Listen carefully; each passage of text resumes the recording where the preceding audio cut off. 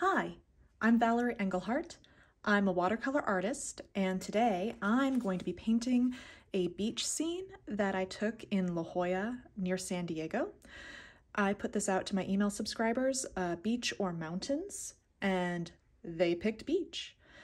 So with my reference photo, I took the values down to three values, just my light, midtone, and dark tones. That way I don't get distracted by color or by too many details. And I put a grid on it since I don't sketch before I paint, so I can kind of see where I want things to go on my paper. So I like to start really wet and loose. So I've got a size three mop brush, holds a lot of water. And I'm gonna start with a color called Palaiba Diamond Blue. It's by Rockwell Canada. And what I'm going to do is I'm gonna tilt it to the side and I'm gonna start painting my sky.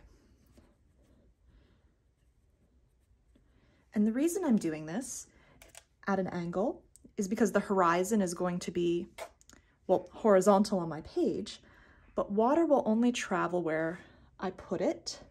And so if I drip it downwards, it's just gonna go down and it won't go this way unless I wet it. So let's just get it wet.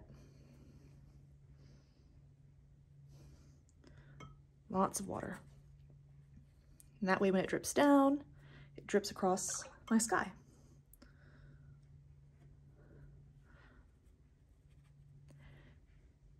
And I don't want to go in too dark, especially too quickly, but watercolor, uh, it dries pale, so I can afford to go a little bit darker.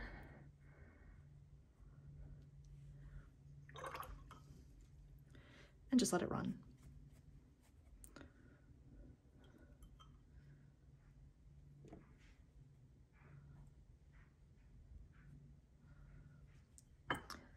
I'm gonna grab a drop, lift my board. I'm just gonna squeeze some of that water down, hoping to make a nice straight line.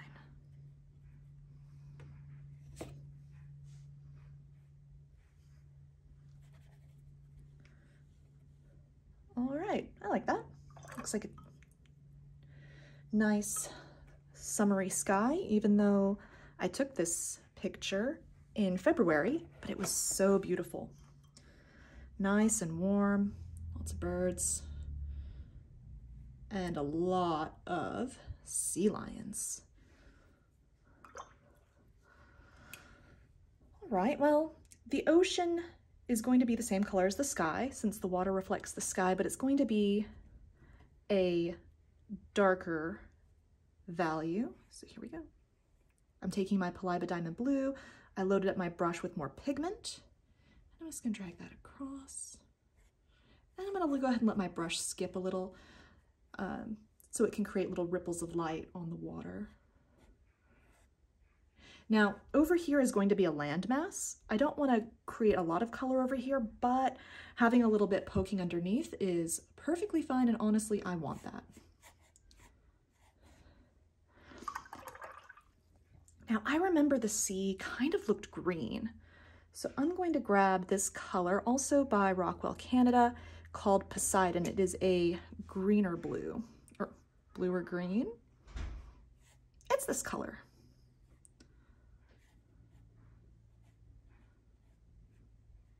I'm just gonna bring that across. Maybe add a little more pigment.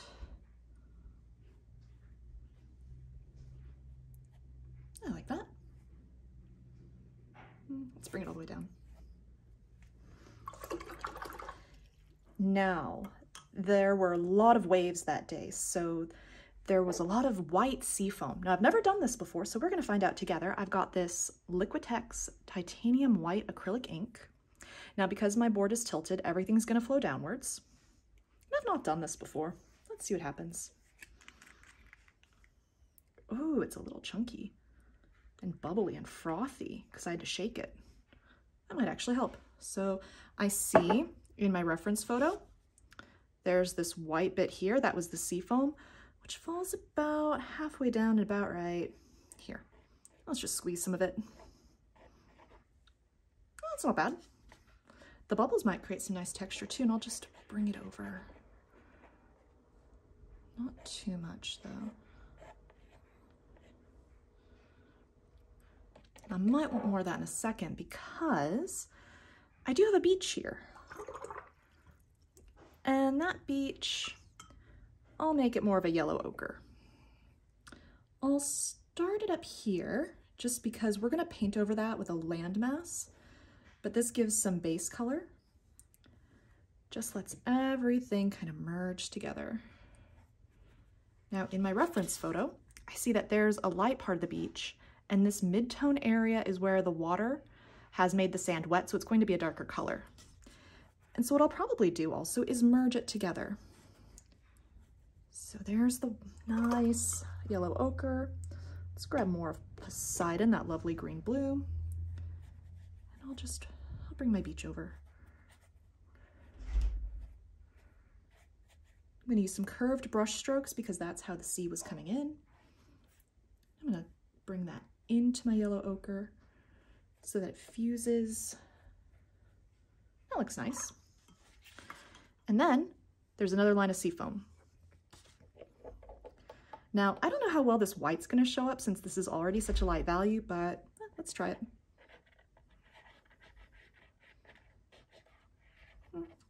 Not a lot. It does give it a little bit of a sparkle though. Too thrilled with how that's looking.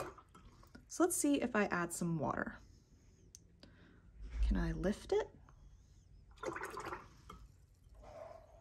Doesn't really look like it.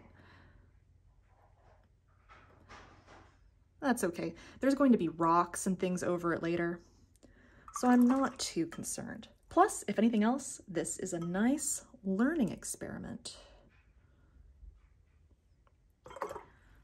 All right, I'm gonna take off some of the water that's down here. I'm okay with back runs, but I don't know that I want it there. It's gonna start calling attention to this area and that's not my focal point. So I have the startings of a beach. We can see the sky is starting to merge into the ocean in some of the areas where the wet part connected to the other wet part, and that's great. That creates a nice loose atmosphere. I don't want a hard line to a hard line. And honestly, yeah, no, because my landmass is going to go about right here. So it just helps um, with some of that depth. I like my paintings to dry naturally, so I'm just going to hit pause for a while and see how this dries. All right, the painting is completely dry. So, I mean, you really shouldn't touch it, but it's definitely bone dry at this point because I waited a day. So I've squeezed some fresh pigment on a piece of paper, some Rockwell Landmark. It's kind of a brown with red tones underneath. So I'm going to take this silicone spatula and pick up some fresh pigment and take a look at my reference image and I see it's roughly a third of the way down the page. But I do want to pay attention to where my horizon line is. So if I painted my horizon line a little too far down, then I want to adjust all of my landmarks appropriately. So I do see that it comes a little bit below the horizon. All right, let's make a mark. There. Like Bob Ross would say, gotta practice your bravery. It's your bravery test. Except I don't have happy trees, I've got rocks. Because at La Jolla Cove, there is a beach, but it also has these beautiful rock cliffs with pelicans and sea lions and ground squirrels. I had never seen ground squirrels before. Let's see. And there are some masses out in the sea.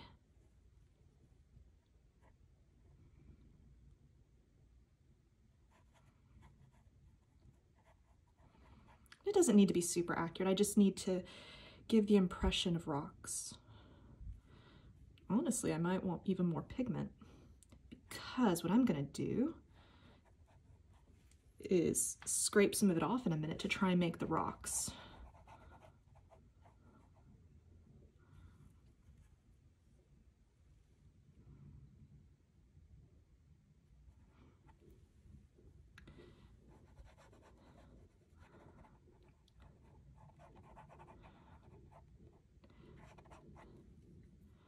Just scraping my paddle along. Ooh, I might not have squeezed out enough paint.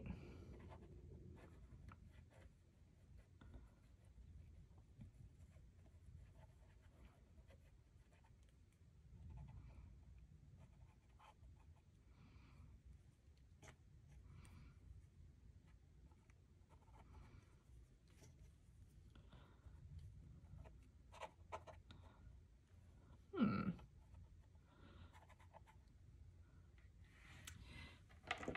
Okay, I'm gonna go ahead and put some more paint on my paper because I wanna add some more rocks.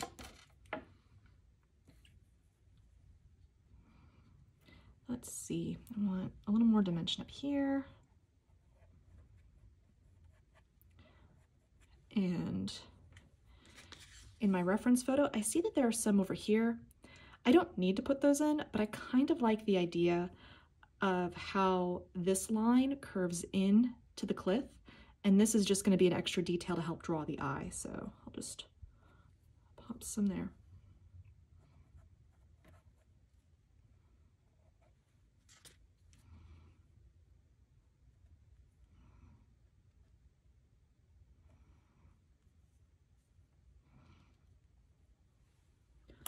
More water and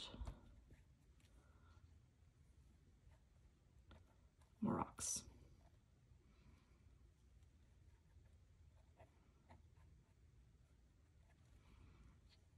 Hmm. Maybe more here.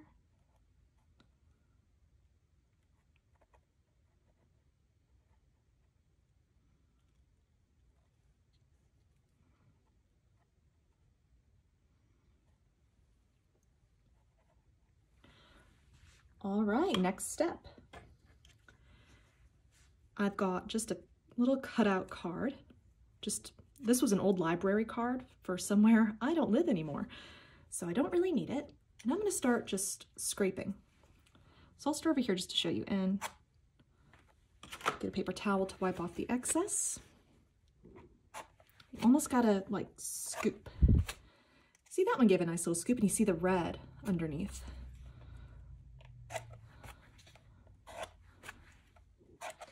Unfortunately, that one has gotten too dry, so let's see. Oh no, did I let it get too dry? Well, that one's fine. So let's see.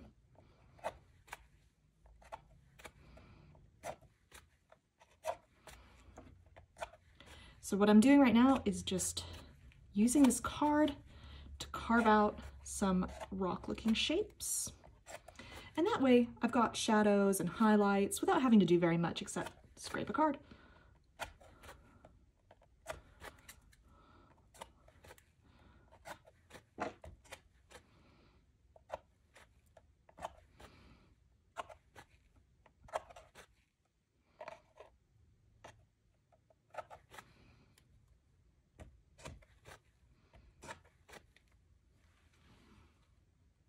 That looks pretty nice.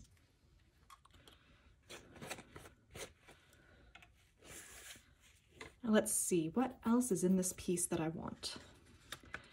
So I could create more of a line because as we see, the sand's wet here. Now, no one needs to know that. This looks like a beach scene already, but let's go ahead and do that. So I'm gonna grab, let's go ahead and grab this one. Just a round silver black velvet size 12, get nice and wet. And I'm just gonna drag some of this pigment down.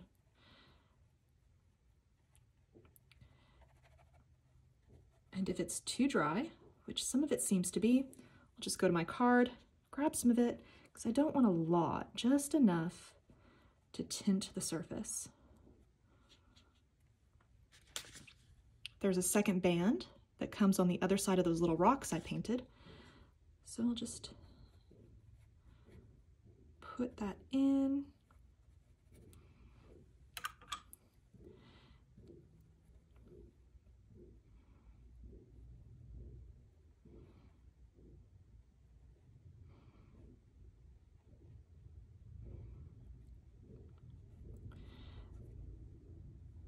and drag it down.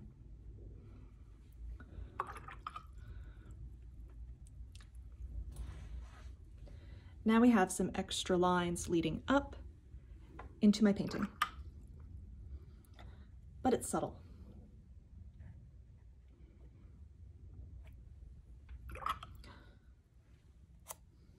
All right, what else do we have? Well, in my reference photo, we have some trees, and it's great because they will add a vertical line. I've got a lot of horizontal going on, not a lot of vertical, so it'll be much more interesting if we add some vertical lines. The other thing, because this photo is black and white, there was lots of green, like mosses and ground foliage. And I want to put that in, so I'm going to grab a little green. And this green is called Fall Story, also by Rockwell Canada, and I'm just going to just set it on top of some of these rocks because that's how it was. It was on top of the rocks.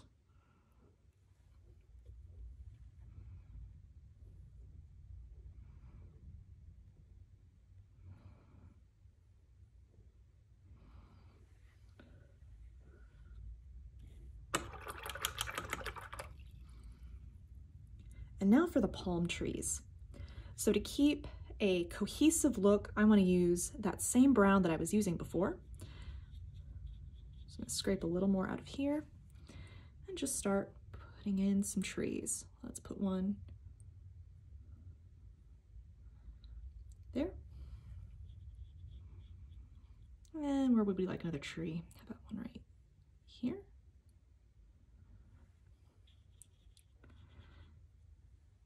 And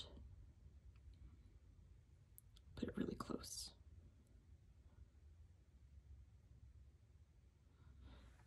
There.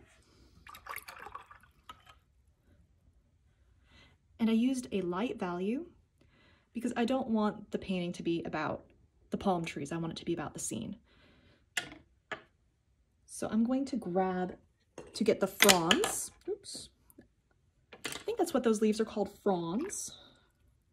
I'm to pick up that green that I used earlier, put it in my palette, and then I'm using a cheap brush that I got from like Michael's. This one is a size 6 Princeton Elite. And I'm to smash it in my palette and splay the bristles as you can see. So it's, I really want them to fan out. And I'm going to, didn't fan as much as I wanted. Maybe it needs to be drier. Yeah, sometimes things don't work out the way you want. What's important is you keep going, especially in watercolor.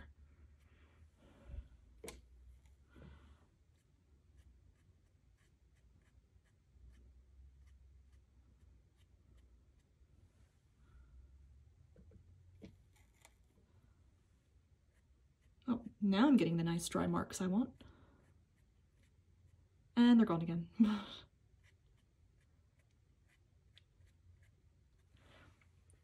right, pretty cool. They're a little one note though. So I'm gonna rinse my brush, tap off the excess moisture, and I'm just gonna lift a little bit of the pigment off. And what that's gonna do is it can soften the fronds, give it a little more atmospheric effect. I can even drag it into the sky.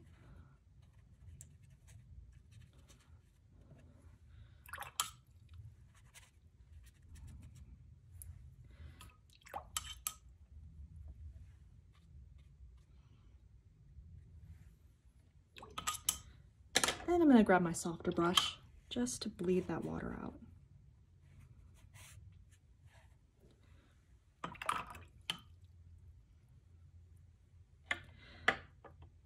A lovely thing about this particular paint is it will separate a bit. So as it dries, you'll start to see some like orangey yellows in there, which I thought was perfect for this scene. Pop a little more green in. I like that. All right, I don't really see that it needs anything else. Now, a few things to do if you're unsure if your painting is done. Um, paintings look different somehow in a photograph than they do in person. So one thing you can do is take a picture of it and look it on your phone, or you can also make it black and white And what will that will do is show you your value range.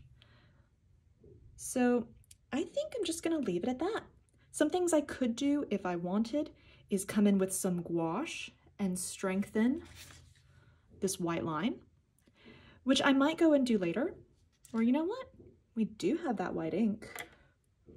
I wasn't too impressed with how it worked out though. I mean, it looks nice here, but I think if I'm gonna add it here, I'm gonna go with gouache. Mm, the surface is still damp, but I think we can make it work. So I'm gonna grab some gouache. I just have Da Vinci Titanium White and a size 4 round brush, and I'm going to pop this on my paper.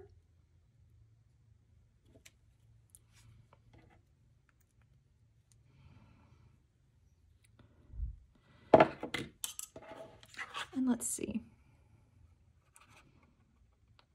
Because this surface is already pretty light, white on light doesn't show up a lot, but it might give a nice little sparkle that the painting needs. Let's see.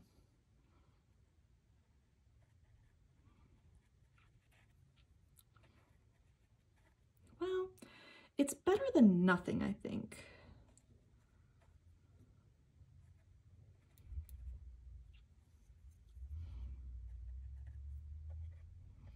Apply a little more white.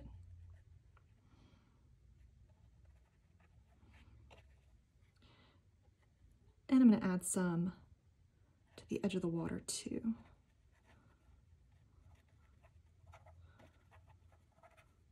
And just let my brush kind of dance and skip around because it's subtle.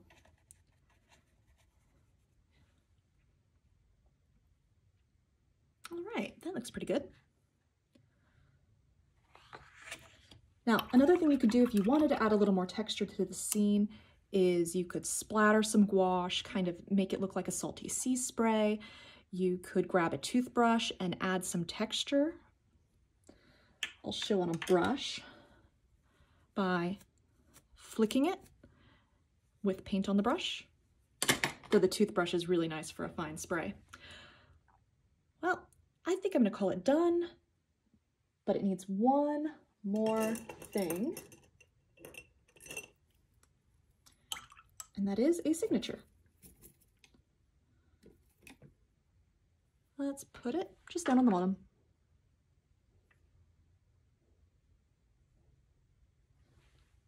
All right. And that is a beach scene.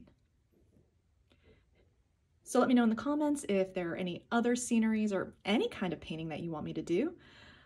Go ahead, like, subscribe, ring that bell for notifications. And if you want to know the materials I used, just check the description. Have any questions? Let me know, I'm happy to answer. Anyway, happy painting. Bye.